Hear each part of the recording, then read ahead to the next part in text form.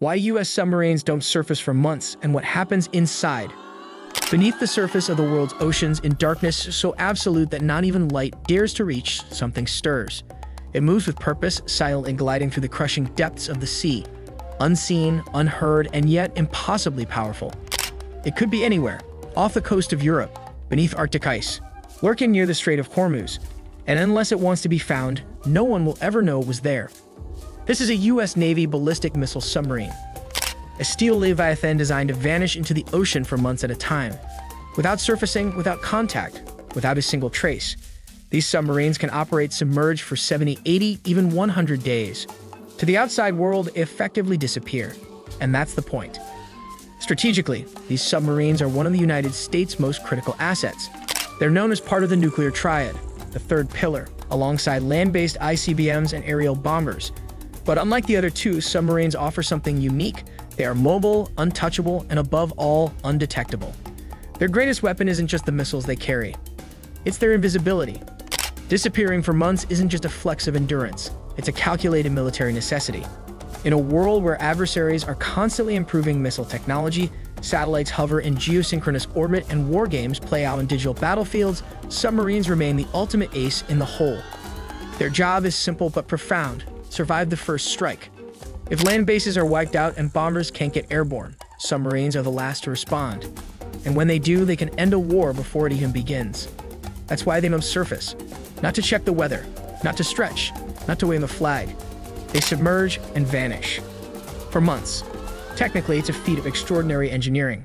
The Ohio-class ballistic missile submarine, for example, is nearly two football fields long, 560 feet of reinforced steel, it's powered by a nuclear reactor, which means it doesn't need fuel. The reactor can power the sub for over 25 years without ever being refueled.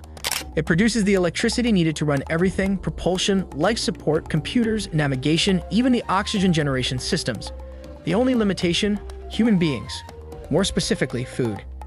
Each submarine carries enough food to support a crew of around 150 men for three months. Everything from fresh produce to powdered eggs, carefully rationed and stored in every spare crevice, even under the floorboards. Once the food starts running low, the mission ends. Not because the sub couldn't keep going, but because the people inside can't go without calories. Inside the submarine is a maze of tight corridors, low ceilings, and humming machinery. There's no sunlight, no fresh air, no windows. You live under artificial lighting, eat on a six hour rotation schedule, and sleep in hot bunks, where three sailors share two beds in shifts. Privacy is almost non-existent. The walls are steel, the pressure is relentless, and yet, it works. What happens inside a U.S. submarine during these long, hidden patrols is a masterclass in discipline, coordination, and mental endurance. From the moment the hatch is sealed and the dive begins, every sailor aboard becomes part of a tightly woven organism. Every role is vital. There are no passengers. You have nuclear engineers monitoring the reactor 24 7 sonar technicians listening for the faintest noise in the ocean, navigators constantly tracking their position without GPS, because satellites don't reach underwater, and of course weapons officers in charge of the submarine's deadliest cargo, up to 20 Trident II D5 nuclear missiles, each capable of reaching targets more than 7,000 miles away with terrifying accuracy.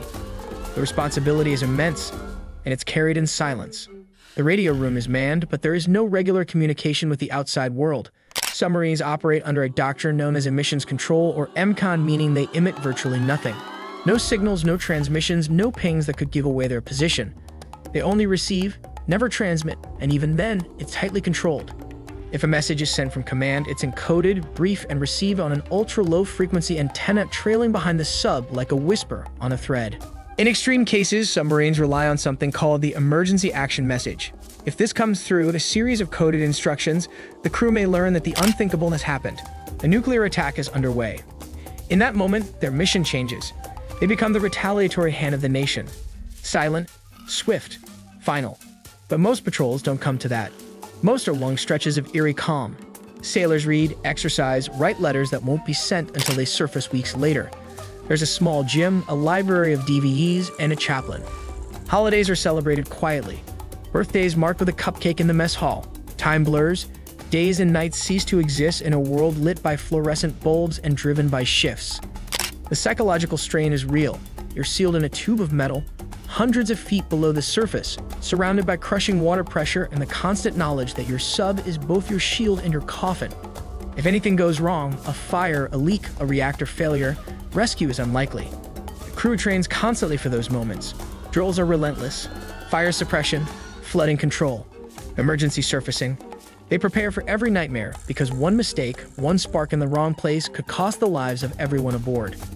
Yet it is this very environment, claustrophobic, extreme, and exacting, that forges some of the Navy's most elite sailors.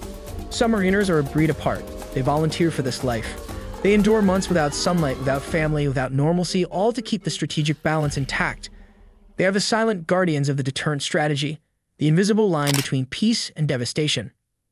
Strategically, the reason the US can afford to project power with such global reach is because submarines like these exist.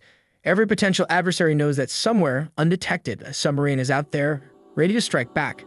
This guaranteed second strike capability is the cornerstone of nuclear deterrence. It ensures that no rational enemy would ever consider a first strike, because the retaliation would be unstoppable. Even the act of surfacing at the end of a patrol is a carefully orchestrated procedure, before breaking the waves, the submarine will scan for threats, deploy periscopes, check sonar for signs of enemy vessels. When it finally surfaces, it's not dramatic, just a long, slow rise and the hatch easing open. Fresh air floods in. The crew, pale and quiet, climbs out one by one. Mission complete. And yet, in that silence, the world may never know where they went, what they saw, what they listened to, or how close the world came to catastrophe. Every patrol is logged, every movement measured, Every moment below the sea recorded in the minds of those aboard. They bring back more than data. They bring back peace, a peace that was never broken, in part because they were there to ensure it wouldn't be. Modern submarines are continuing to evolve. The next generation, the Columbia class, is already under construction. Bigger, quieter, deadlier. These submarines will carry the legacy forward into the next half century, continuing the tradition of silent vigilance beneath the ocean's waves. But nothing changes the essence of the mission to vanish, to remain undetected, to operate for months at a time in total isolation, and to do so with the knowledge that, should the day come, they are the final line between civilization and oblivion. It's easy to forget that they're out there. That beneath your vacation cruise, below the tankers and shipping lanes, under ice caps and coral reefs, a quiet watchers glide. They don't broadcast their presence. They don't appear on the evening news. And yet every day they carry the weight of global stability in their steel hulls.